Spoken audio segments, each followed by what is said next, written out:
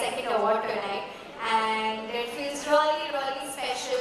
First and foremost, it wouldn't have been possible without my fans, without my audience and above all, without entire team Tina. Everyone who there from Pranil, Ria, uh, Neha, Dolly.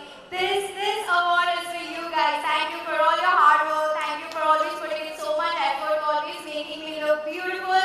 And it wouldn't have been possible without you guys. So this is for you all. Thank